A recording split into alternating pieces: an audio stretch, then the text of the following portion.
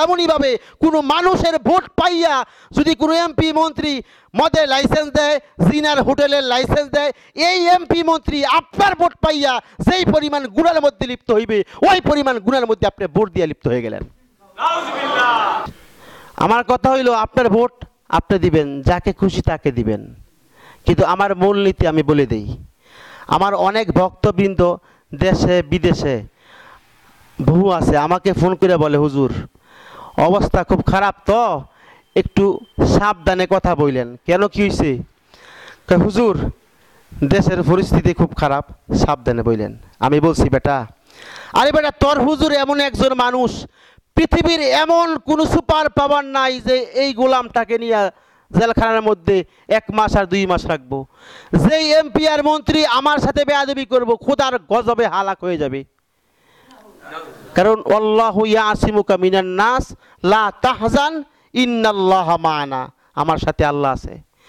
আমার মেন কথা হইল, ভাই, লানাতুল্লাহি আলার রসি ওয়াল মুরতাসি যেই লোকটায় ঘুষ খায়, যেই লোকটায় ঘুষ দেয়, দুজনের প্রতি আল্লাহ লানত বৃষ্টির মতন পড়ে।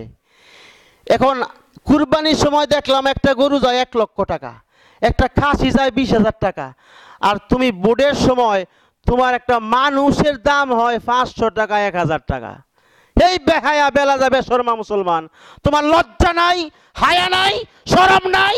পাঁচশো টাকা একটা গরু আর ছাগলের চেয়ে তুমি নিকৃষ্ট হয়ে গেলা। পাঁচশো টাকা আর এক হাজার টাকার বিনিময়ে তোমার মহামূল্যবান ইমান বিক্রি করে ফেললা।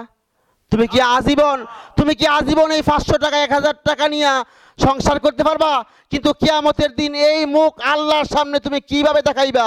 আজকে আমি না বললে আল্লাহ কিয়ামতের দিন আমার চেসবো। আমি আজ পর্যন্ত আওয়ামী লীগ বলেন, বিএনপি বলেন, জাতীয় পার্টি বলেন, আমি কোনো দলের মধ্যে সম্পর্ক নাই। আমার খানদানের মা, বাবা, দাদা, দাদি, নানা, নানি, সদ্য গোষ্ঠী কেউ কোনো রাজনৈতিক দলের সাথে সম্পর্ক নাই। কিন্তু যেটা সত্য, এটা বলি আমি। দেখেন সরমনারের এক ফির নাম রেজাউল করিম আর ফয়জুল করিম। ওরা হাত ফাঁকা মার খায় দাঁড়াইছে। জামাত ইসলাম জামাত ইসলাম আর ছাত্র শিবির এটা কিন্তু আবার সরমনায় তারা কিন্তু এক না। ওইটা সম্পূর্ণ ভিন্ন দল। আমার কথা হইল, লক্ষ লক্ষ সুর সুরটা বদমাস মদ খুর, গাজা খুর, আফিম খুর, বাবা খুর, এগুলো সুর হইয়া যায় সরমনায় বাইর হয় আল্লাহর অলি হইয়া বাইরের জায়গা। এই দেশের লক্ষ লক্ষ কোটি কোটি মানুষ সর্বনারী ফিরে সুবতে আইসা আল্লাহর অলি হয়ে যায়। আপনার যদি বিশ্বাস না হয় আগামীতে চরমনায় ঘুরে আসেন আপনারা। এই লোকটায় দাঁড়াইছে হাত ফাঁকা ফতিকে নিয়া। এখন আমি স্পষ্ট ভাষায় বলি ওনার মেন উদ্দেশ্য ইসলামী হুকুমত করা। আমাকে একটা মেসেজ দিছে। এখন সরমনার ফিরের হাত ফাঁকা মার্কায় ভোট দেওয়া প্রত্যেক মুসলমানের উপর ফরজে আইন হয়ে গেছে। কারণ কারণ হলো এই লোকটা ইসলামী হুকুমাত করতে চায় ইসলামী আন্দোলন করা ফরজ এই জন্য এই লোকটা যেহেতু ইসলামী হুকুমাত প্রতিষ্ঠা করতে চায় এই জন্য হাত পাকা মার খায় মুসলমানের ভোট- দেওয়া ফরজ হয়ে গেছে। আমি দেখলাম এই লোকটা যখন ফৈজুল করিম রেজাউল করিম কথা বলে কমেন্টের মধ্যে লেখে বেহায়া মুসলমানরা লেখে যে উনি ফিসাব কেন রাজনীতি করে? চিন্তা করেন। অনেকে বলে হুজুররা এই মিম্বরে বৈশা রাজনীতির কথা কেন বলে? আরে বেটা তুই যে কত গন্ডমূর্খ দেখ। নবীজি এই মসজিদের এই মিম্বরে বৈশা বিশ্ব নবী রাজনীতির কথা বলছে। মসজিদের মিম্বরে বৈশা রাজনীতির কথা বলা নবীর সুন্নত। আরও জোরে কন্যা সুবান আল্লাহ এখন আমি আমার নিজের ব্যক্তিগত কথা বলি। আপনারা কেন যে আলেমদেরকে এত মানে টিটকারি করেন আমি কিছুই বুঝি না। আরে আলেমদেরকে এত টিটকারি কেন করেন? ফয়জুল করিম কি যোগ্য না? তো কেন আপনারা ওনার টিটকারি করেন? আমি আমার নিজের কথা বলি। আমার সামনে একটা বয়ান বাইর হবে ইনশাল্লাহ গণতন্ত্র, রাজতন্ত্র এবং ধর্ম নিরপেক্ষতাবাদ। চার বছর গবেষণা করে আমি এই তিনটা বিষয়ে কথা বলব ইনশাল্লাহ পাইবেন। ওইখানে আমি প্রমাণ করে দিব যে সরমনার ফিরের গণতন্ত্র আর উমরের গণতন্ত্রের মধ্যে লা ফারকা বাইনা হুমা কোনো পার্থক্য নাই আর প্রচলিত গণতন্ত্র হারাম।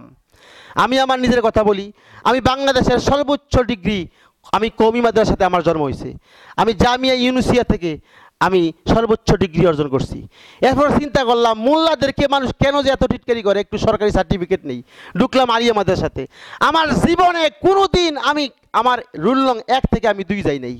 আমাকে আমার ওস্তাদরা কম্পিউটার উপাধি দিছিল আমাকে। আমি আলিয়াতে সর্বোচ্চ ডিগ্রি নিলাম। এরপর চিন্তা করলাম, কেন মোল্লাদেরকে এত টিটকারি করে? এই দেশে কি, এই পৃথিবীতে কি মোল্লাদের কোনো অবদান নাই? ঢুকলাম আমি কলেজে এখন ন্যাশনাল ইউনিভার্সিটিতে ঢুকলাম। আমার ফার্স্ট ক্লাস রেজাল্ট আমি ফার্স্ট চয়েস যা দিই তাই আসব। আমি বিএসএস অনার্স পলিটিক্যাল সায়েন্স রাষ্ট্রবিজ্ঞান, রাজনীতি নিয়ে অনার্স করব, এটা আমার ইচ্ছা। পরে শুরু করলাম। আজ থেকে বহু বছর আগের কথা, একটা বইয়ের নাম সমাজকর্ম পরিচিতি, এটা আমার পাঠ্য বই নাকি আমি পড়ছি। পড়ে দেখলাম ওই জায়গার মধ্যে একটা প্রশ্ন আসছে। প্রশ্নটা হইল যে এই বিশ্বের মধ্যে সর্বপ্রথম কল্যাণমূলক রাষ্ট্রের প্রতিষ্ঠাতাকে।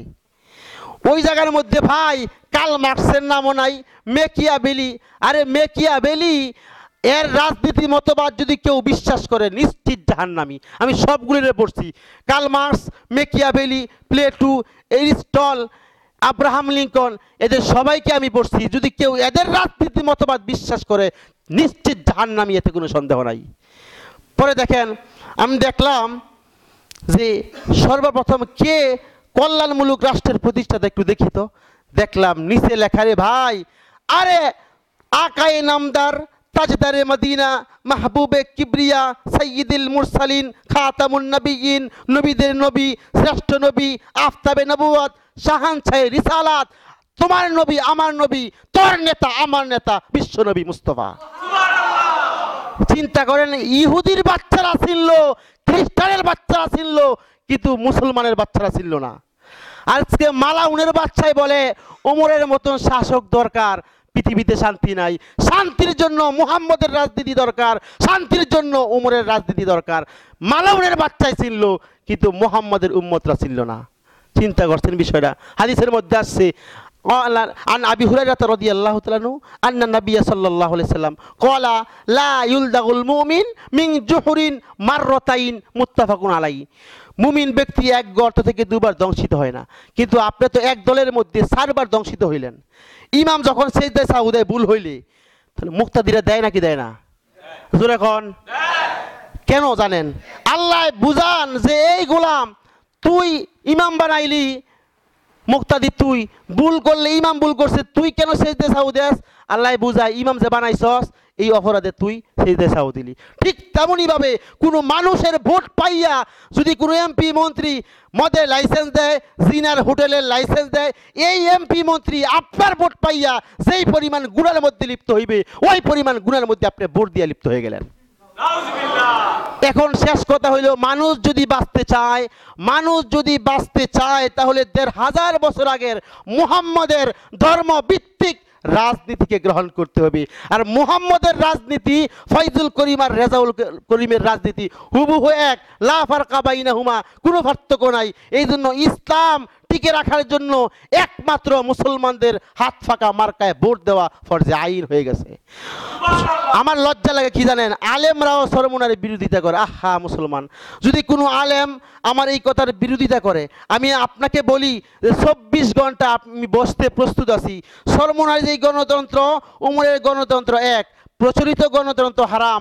আমি চার বছর গবেষণা করে বলছি এখন কেউ যদি প্রমাণ করতে পারে আমি বসতে প্রস্তুত আছি। আমি প্রমাণ করে দিব কোরআন হাদিস দিয়া ওমরের যেই রাজনীতি ফয়জুল করিমের সেই রাজনীতি। লাফ আর কাবাই না হুমা কোনো পার্থক্য নাই। এখন আপনারা বলতে পারেন হুজুর আপনি কি সরমনার দল করেন? বা আপনি কি ওনারে এত সাপোর্ট কেন করতেছেন?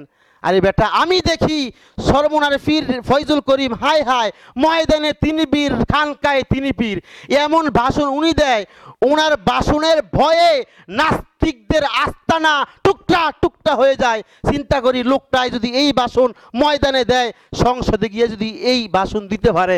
বাংলাদেশের মধ্যে যত নাস্তিক মুরতাদ আছে, নবীর দুশ্মন আছে, সমস্ত নাস্তিকদের আস্তানা ভেঙ্গে টুকটা টুকটা হয়ে যাইবে।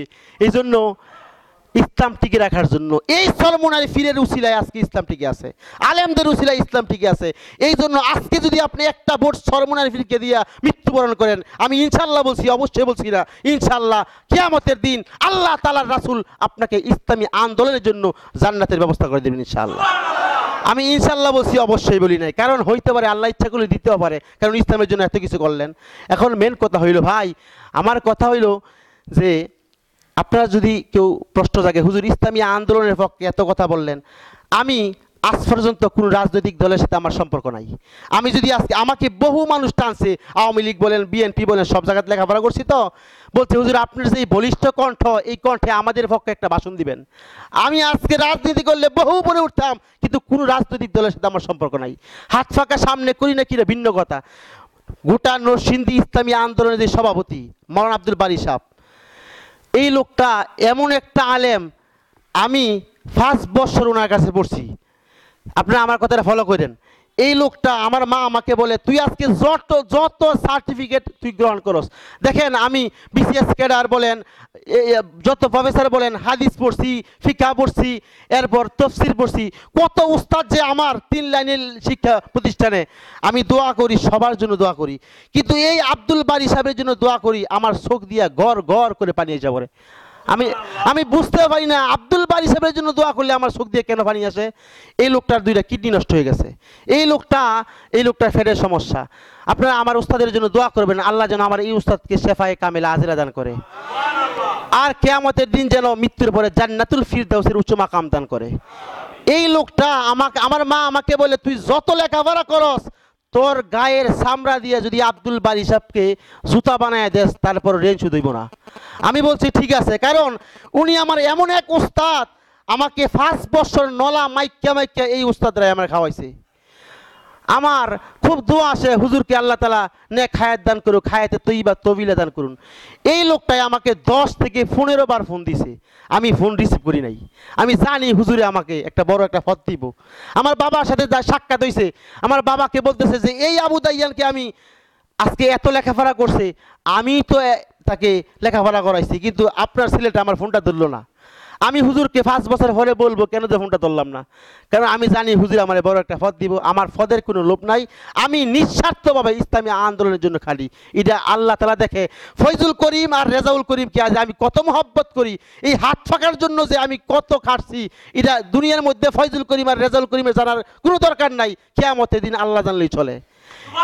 আমি আশা করি আমার এই কথায়, আমার ভক্তবৃন্দ কমপক্ষে কিছু হইলেও হাত পাকায় ভোট দিব, এইটাই আমার আশা, অন্য কিছু নাই। সব শেষ কথা, সর্বশেষ কথা হইল